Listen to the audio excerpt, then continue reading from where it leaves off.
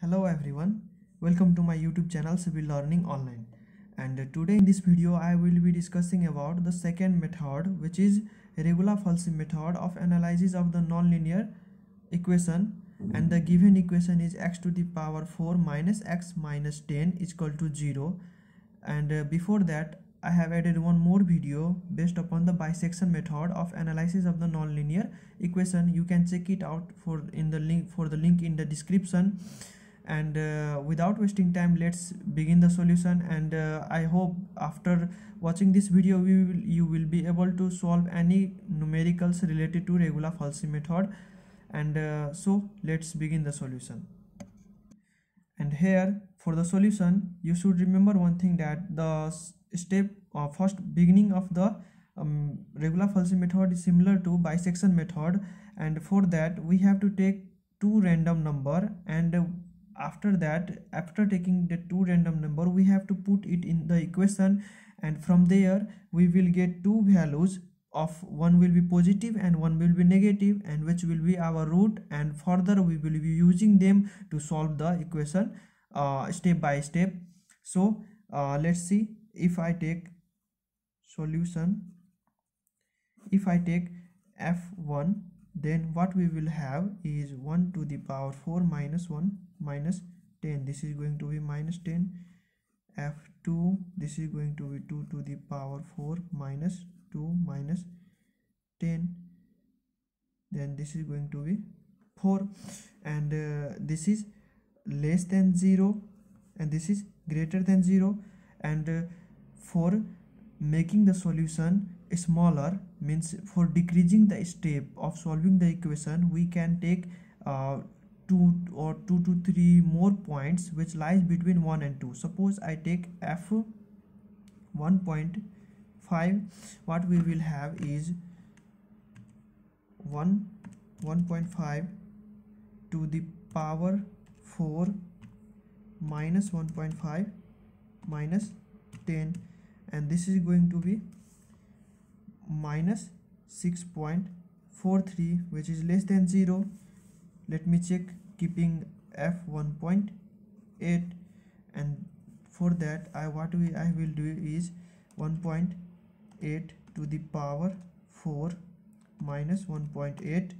minus 10 and uh, here the solution is minus 1.3024 which is less than 0 now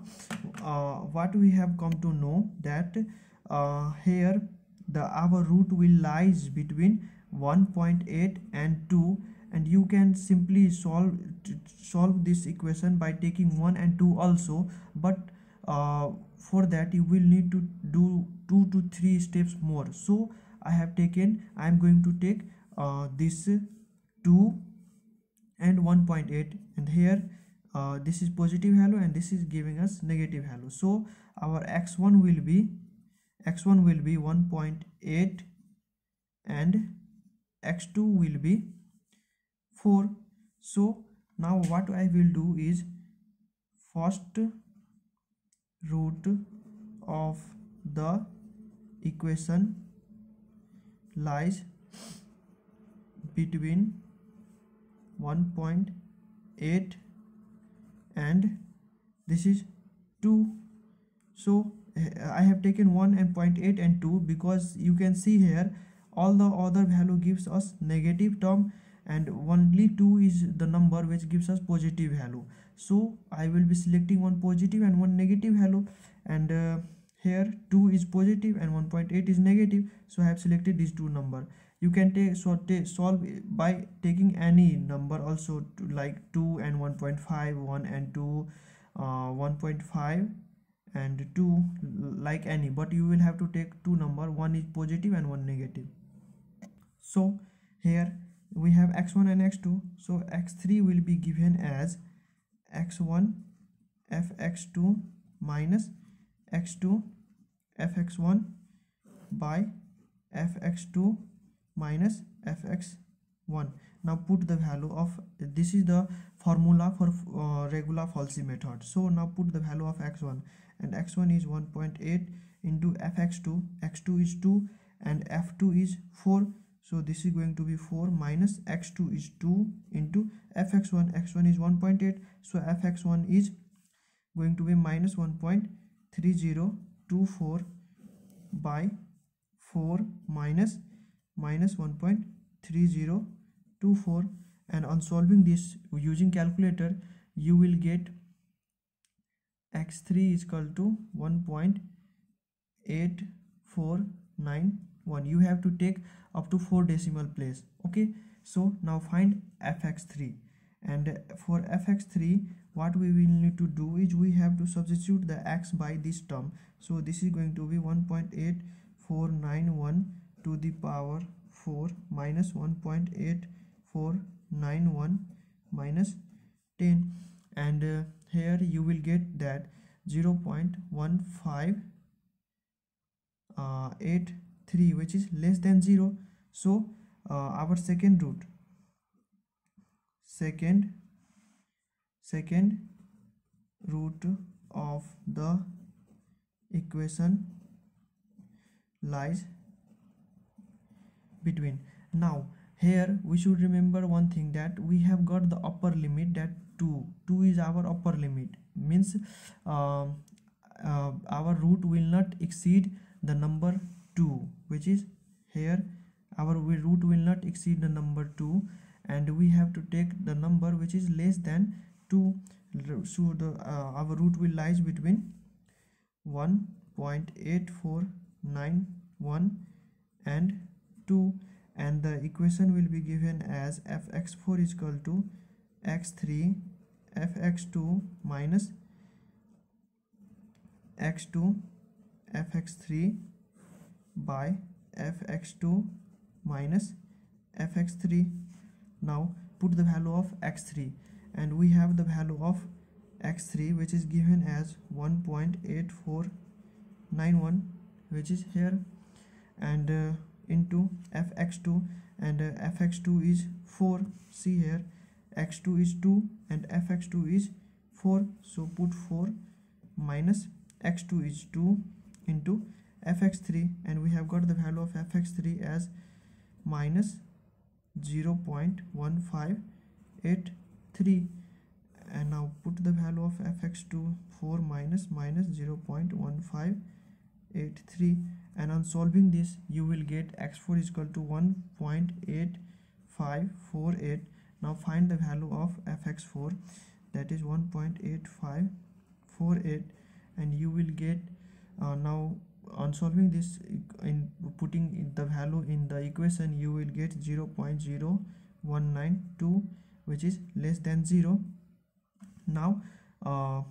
uh, we have to solve two, two to three more steps until uh, after uh, after decimal these three number comes common. So let's move toward the third root.